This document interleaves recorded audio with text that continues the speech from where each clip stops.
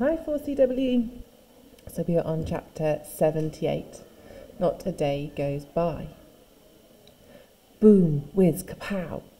Fireworks dance in the sky over London. Those lucky enough to be on the top floor of Buckingham Palace had the best view. The elderly Queen was hosting a party. There were 25 Wormwood Hall orphans, all the Chelsea pensioners, Abdul, Dotty, and of course the guest of honour, Elsie. Fittingly, a huge Victoria sponge cake was served. It was so big he could have dived into it, but it was demolished with the starving orphans in a second. By the fireplace, Private Thomas got down on one knee to propose to his beloved. Dotty, will you marry me?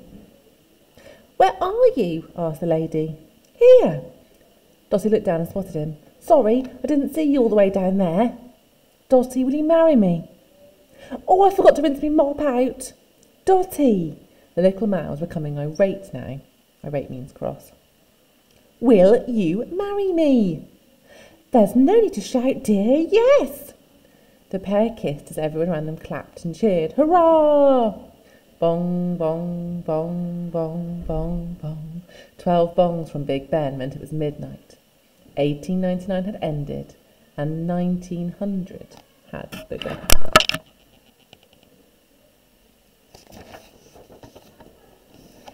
Everyone crossed arms and Queen Victoria led the singing of Auld Lang Syne. Robert Burns' word, so he wrote Auld Lang Syne, and the mournful tune made Elsie think of Wully. She missed her friend terribly, and she sang, a tear rolled down her cheek, and she stole away to the far side of the room so nobody would see her. Elsie didn't want to spoil the celebration for everybody else. Only the Queen saw that the girl was upset, and she broke away from the rest. The unlikely pair of friends found themselves alone in the corner as fireworks illuminated from the window. What's the matter, child? asked the Queen softly, as she placed her hand in Elsie's. The song just got me thinking about how much I miss Wully.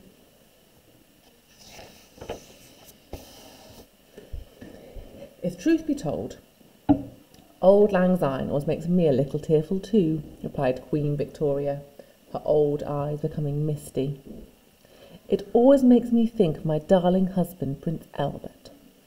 I lost him thirty-eight years ago. Not a day goes by when I'm not an hour, not a minute, I don't think about him. It sounds like he was a very special man. Oh, he was, child, he was, the most perfect gentleman in all the world. Elsie reached out her hand to the old lady who held it tight. See those fireworks, Elsie? Yes, ma'am. This is how it feel, felt in my heart every time my our darling Albert entered the room. That's beautiful, murmured the girl.